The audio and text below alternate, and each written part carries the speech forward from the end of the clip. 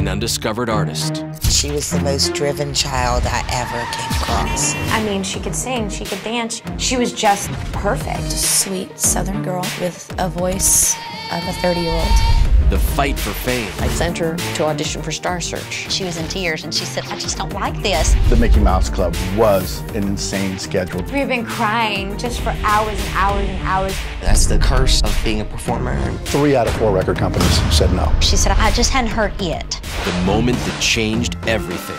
The song was originally written for TLC. They wanted Britney to hear it. We all just kind of said, okay, this is it.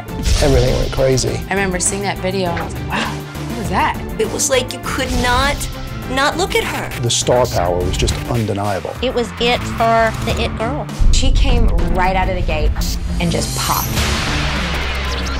What does it mean to pop? And it's just that perfect song at that perfect moment. That one record. The stars aligning. And all of a sudden, you pop. When you become a superstar.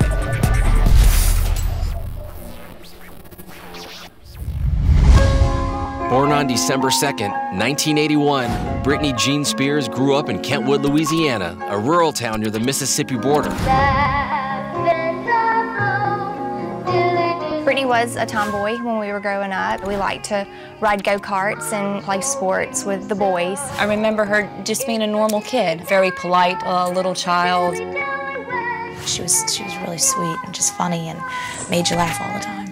She was the type child that everyone wanted to be her friend. Everyone wanted to be her friend.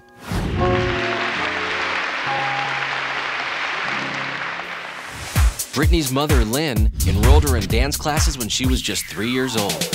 She loved to dance, loved to sing, she loved to be in front of a crowd. To see her dance was amazing. She danced with like a sensuality to her. She had that from the time she was a little girl. Great stage presence kind of drew you in. She had this sparkle in her eye. It wasn't just her ability to perform. You could tell she was always giving 110% effort. Britney and I were in first grade. We would play Star Search on the playground, and Britney would always get a group of girls up together. She would teach us the dance, and then we would perform it for our teachers. Britney was not only a great little dancer, she also had a voice that could stop a truck. The Britney I knew was just a sweet Southern girl with a voice of a 30 year old. It took me back, this, this adult voice coming out of this little tiny person. From that moment on, I knew she was very special. Britney definitely knew what she wanted to do. She wanted to entertain people. Even though they were living on a meager salary, Britney's parents were dedicated to supporting their daughter's dream of making it in show business. It really was um, hard on them financially. They didn't really have anything except for the will for their child to be a star. So it was 90 miles one way to come for dance, three days a week. So many parents these days have the drive and the child's just along for the ride. Britney drove that car. That drive paid off. At age 10, the little girl who once pretended to be on Star Search in the school playground got a chance to make those make believe dreams come true. I sent her to audition for Star Search, along with one of my other clients, a boy named Marty Thomas. Silly as it sounds, at 12 it was a lifelong dream to be on that Star Search stage. Word just spread through the school that Britney was auditioning for Star Search. It was really exciting. It was really Britney's first big talent exposure on national TV. I mean, the entire town, everybody was glued to their TV. Here it is, this small town girl singing for the world to hear. I mean, we just all were just flabbergasted at our little girl. Here she is, making the big time. I remember her getting on that stage and singing, and I remember she was amazing. I was terrified that that was going to be the last time I'd be on the stage after she sang, and she nailed it. And then it came down to that final song that they sang. She got three and three quarter stars, and I remember feeling like, okay, well, it's me. I'm going home. But in the second round, Marty pulled ahead and beat Britney with four out of four stars. It took me a minute for it to register that four was more than three and three quarter. Obviously, she was my friend, so I thought she should have won. I'm sure she was disappointed. Everyone at home was. That's the curse of being a performer. You get knocked down, and sometimes you get big reality checks, and there's gonna be ups and downs. It was Britney's first professional setback, but she would get another shot at stardom less than a year later when the Mickey Mouse Club conducted a nationwide search for young Mouseketeers. They crisscrossed North America and looked at some 25,000 kids to find eventually 24 candidates. I saw her audition for it, and she was amazing. With Britney, there was an obvious stage presence. She's so into what she's doing that you feel compelled to watch her. They were lucky to find Britney because she was just such a triple threat at such a young age. At age 11, Britney scored the break she'd been dreaming of when she became the youngest of an all-star group of seven new Mouseketeers, including Justin Timberlake, Christina Aguilera, and Ryan Gosling. Here's Britney. So they were 11, 12, 13. They were all hitting their adolescence. Justin would just do goofy things, play tricks on people. Hey, is that your video camera? Yeah, and it's going to my mom too, Justin, and your mom. And then you look over to Christina, who's all of 60 pounds soaking wet. Say hi to the camera, Christina. Hi, camera. You don't meet kids like that, that like come out of the box knowing exactly what they want to do the rest of their lives. The schedule for the Mickey Mouse Club was an insane schedule that you could only do if you were a young performer who absolutely was in love with what you were doing. I think that the kids would have done it all day and all night if they could have. It was a ton of fun for them. But after just two seasons with the show, Britney and her castmates were shocked when Disney canceled the new Mickey Mouse Club. It was a huge uh, come down. At that age, being on a show for two years and then getting canceled, I think would feel like a form of rejection. Like, you know, you guys just weren't cool enough. None of us had really thought about life after Mickey Mouse Club. I just remember the wrap party. By the end of it, our eyes were swollen because we had been crying just for hours and hours and hours. It was really hard to leave each other. And they were kind of like her family, away from her family. Everyone wants, you know, somebody to believe in them. Everybody wants that. Everybody longs for that. So when you get a taste of it, just, you know, you want more and more and more. I think she had grown to love the people that she worked with. She was heartbroken. Coming up, Britney takes the biggest gamble of her career. This was probably the hardest judgment call that they had to make. It seemed to everyone around them that it was a risky move. And later, the song that would make Britney pop. When we all heard it, wow. Like, chill bumps. We went bananas, jumping up and down and screaming and hollering. It was just lightning in a bottle. It was just so hot. it was so hot. At the age of 13, Britney suffered a major blow when Disney canceled the Mickey Mouse Club after her two-year stint on the show. Now it's back to their regular school, back to their hometown, back to their regular lives. But back in Kentwood, Louisiana, Britney was more determined than ever to follow her dreams. I was happy to have her back, but at the same time, I knew that she wasn't done. Britney had such a drive and such a determination from such a young age that I don't think anything could have deterred her. She wanted it all. She wanted everything. We would sit in class and I would look over at her and I'm like, Britney, what are you doing? And she's doing her signature, you know, writing her name. I'm practicing one day I will be famous. At age 15, it seemed like Britney had a big shot at that fame she dreamed of. I mean, 1997 was a time of great excitement for young girls because the boy band craze was at its peak. Lou Pearlman, the man behind Backstreet Boys and NSYNC, was putting together a girl band called Innosense.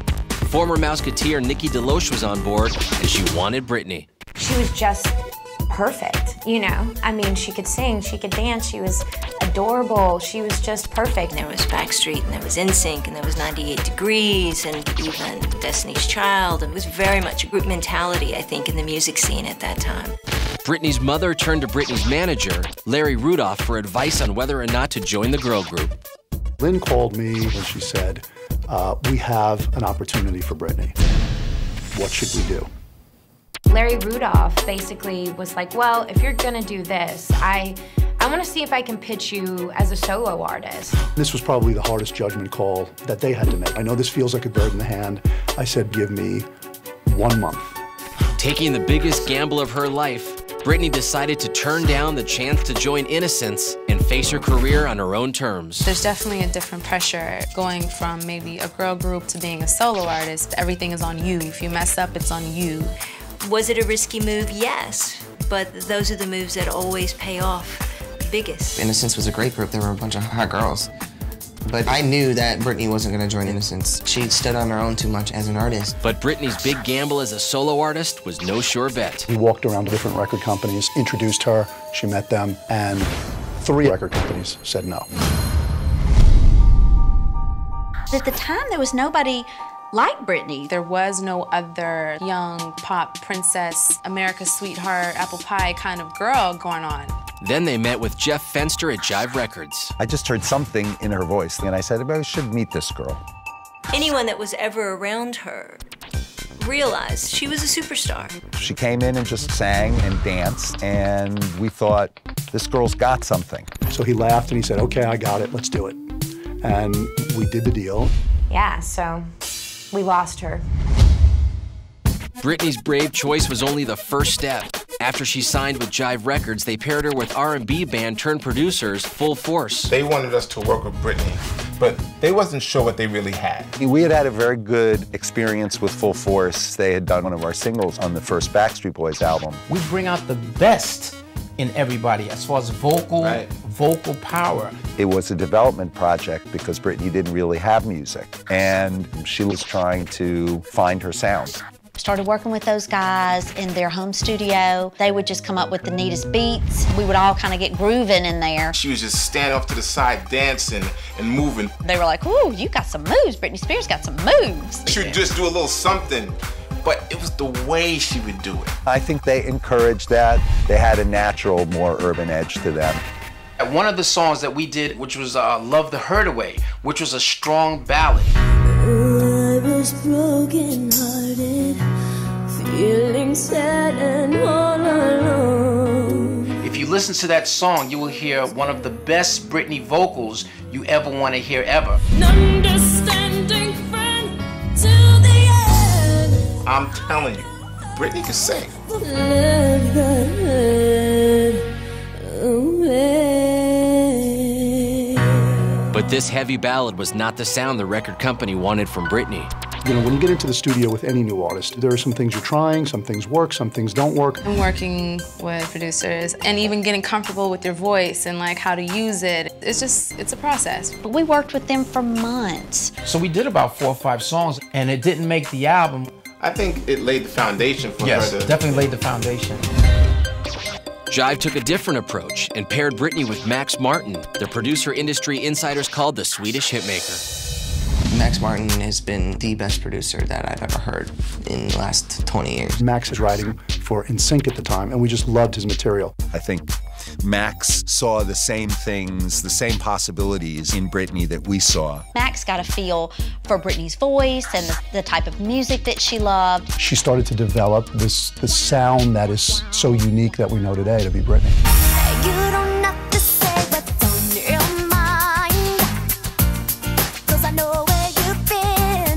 Really, it was love at first sight in the artistic sense. I think something clicked. Though Britney and Max Martin connected musically, Britney instinctively knew something was missing. She said, Fe, I don't think I've heard it yet. I've recorded a lot of songs, but just not the one that I think is gonna just be it. Coming up, the song that started it all. When we all heard it, it was wow. And the music video that would make Britney pop. I remember seeing that video and I was like, what was that? She did become the biggest thing in the world. The song was a massive hit. How do you get bigger than that?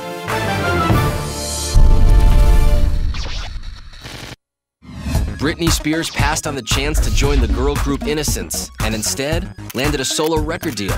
But she struggled to find that one song that would make all the difference. She said, Fe, I don't think I've heard it yet. I've recorded a lot of songs, but just not the one that I think is gonna just be it. Then, producer Max Martin wrote a song that would change everything. I got a phone call from the chairman of, of, of Jive Records, and he said, I got a song for Max. The song was originally written for TLC, and it didn't work out. But when we all heard it, wow, it was, what is this? They wanted Britney to hear it. I can remember she was standing facing the window, and she turned around when it started with a little thumbs up, and this is it, this is it. So she knew before she ever laid down a track that that was gonna be it. The demo for Baby One More Time, it was incredible. Britney said, I, I want to record that. And he said, okay, we'll, we'll work it out. No, no, I want to record it now.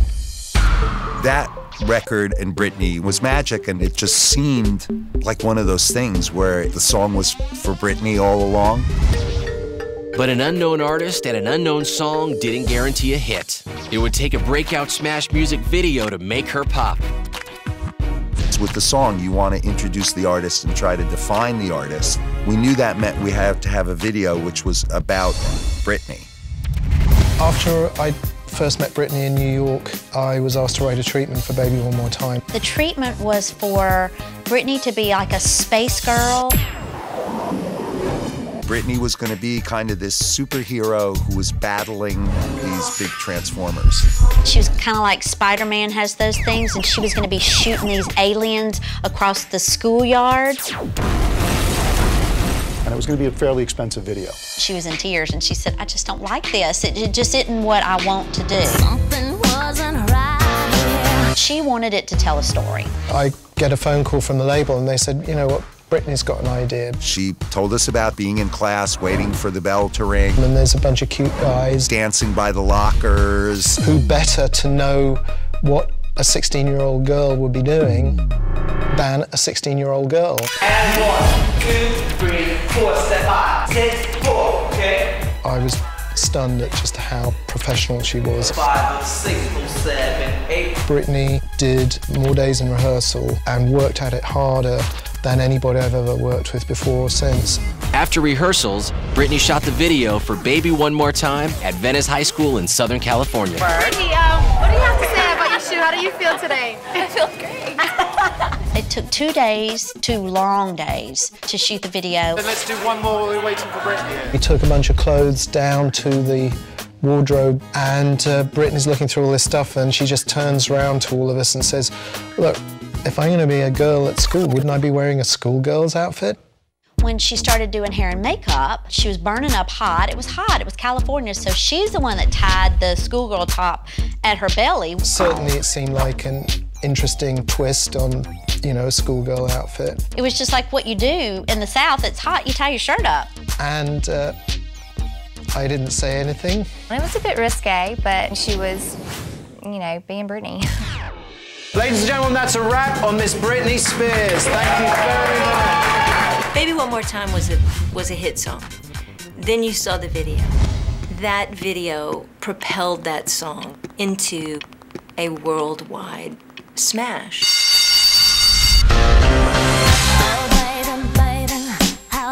I supposed to know that something wasn't right? Her performance, her connection with the camera, the way that she looked, the whole concept and the way it was executed, that's when we knew something clicked. How you want it to be. Tell me. The schoolgirl outfit, and I was like, oh my god, that is such a cute way to flip that uniform. She's just so sexual and she's got that perfect little Barbie type style voice. Britney Spears was barely 17 years old, and the combination of the song and video made Britney pop. When Hit Me Baby One More Time came out, I just knew. Everything went crazy. We shipped the video to MTV, nobody knows who she is, and by the next Thursday, One more time. everybody's talking Britney. The hit me lyric was sort of just controversial enough to get people to think it was just a little bit dangerous. And the controversy just made her more interesting.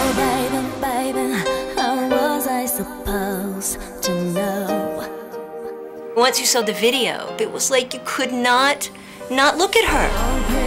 I shouldn't have let you go. I thought it was really cool because it was relatable. And she was like dancing around with tennis shoes in the gym. And I was like, oh yeah, that looks like my gym. I must. Here's this young girl delivering this really sexy lyric, and it all worked. We all just kind of went, oh my heavens. I just remember being so happy for her. It was just, wow. Most artists may not score a hit until their third or fourth release. But Britney's very first record not only shot to the top of the Billboard charts in the US, it stayed on the Hot 100 for 32 weeks and soared to number one in 15 other countries. The song was a massive hit, and she was a massive star. I just couldn't believe it was there. Me, baby, one more time. Week after week, it was number one. With Baby One More Time, Britney went on to receive her first Grammy nomination for Best Female Pop Vocal Performance, and her debut album became the biggest selling album ever by a teenage solo artist. She came right out of the gate and just popped. All of a sudden, something that wasn't there before is all of a sudden right in front of your eyes. They just pop. Britney popped because she was accepted by millions of people. It really all happened so fast. She did become the biggest thing in the world. Britney Spears didn't just pop, she exploded. Hit Me Baby One More Time became Britney's signature. She's a force. And you will never be able to hear it and not think of her. How do you get bigger than that? It was it for the it girl. This little girl from Louisiana had a mission to become a worldwide superstar. She succeeded.